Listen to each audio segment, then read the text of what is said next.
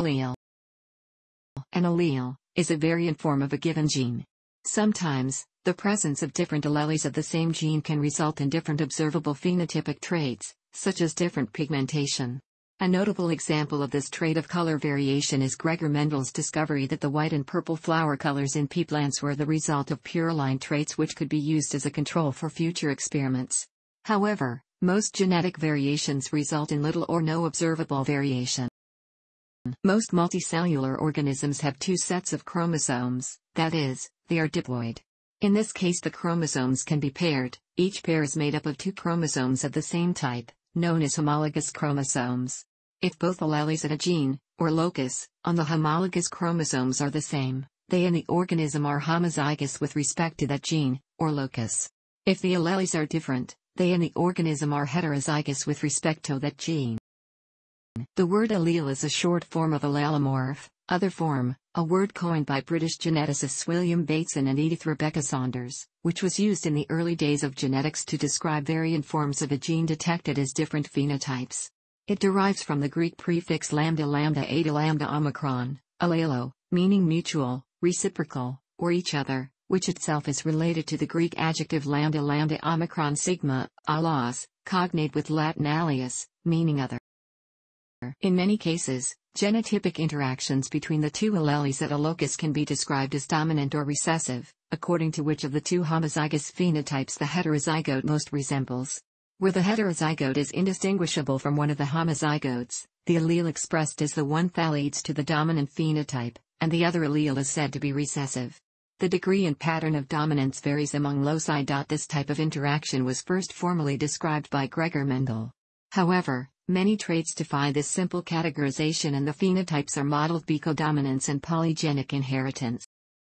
The term wild-type allele is sometimes used to describe an allele that is thought to contribute to the typical phenotypic character as seen in wild populations of organisms, such as fruit flies, Drosophila melanogaster.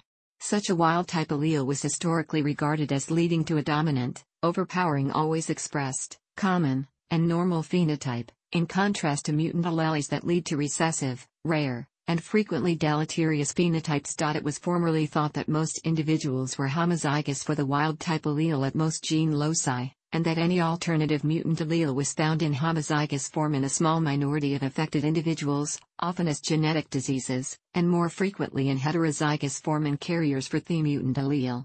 It is now appreciated that most or all gene loci are highly polymorphic, with multiple alleles, whose frequencies vary from population to population, and that a great deal of genetic variation is hidden in the form of alleles that do not produce obvious phenotypic differences. A population or species of organisms typically includes multiple alleles at each locus among various individuals.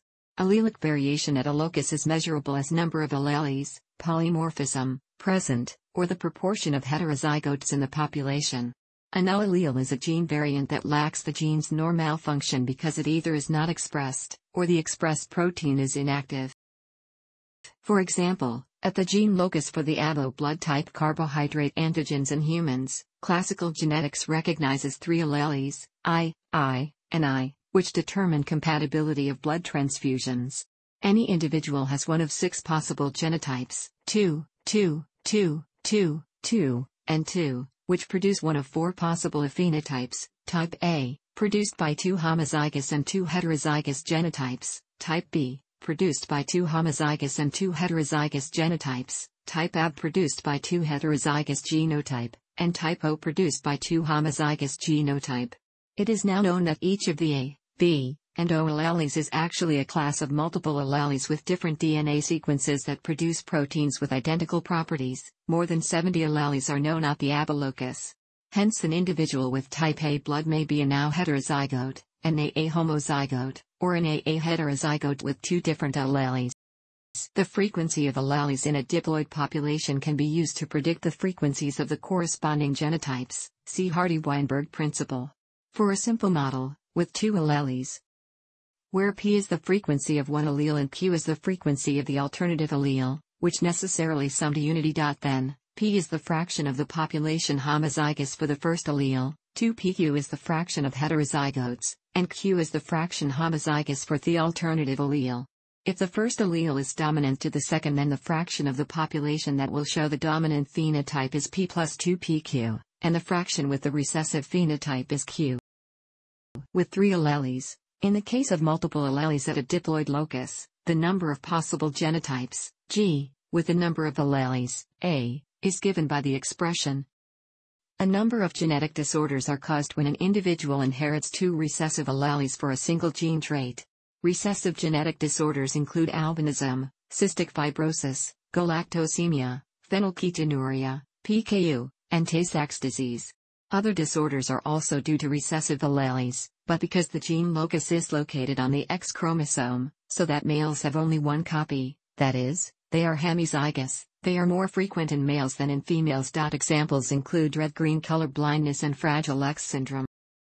Other disorders, such as Huntington disease, occur when an individual inherits only one dominant allele. While heritable traits are typically studied in terms of genetic alleles, epigenetic marks such as DNA methylation can be inherited at specific genomic regions in certain species, a process termed transgenerational epigenetic inheritance. The term epiallele is used to distinguish these heritable marks from traditional alleles, which are defined by nucleotide sequence. A specific class of epiallele, the metastable epialleles, has been discovered in mice and in humans which is characterized by stochastic, probabilistic, establishment of epigenetic state that can be mitotically inherited. Thanks for watching. Don't forget like the video and don't forget to subscribe.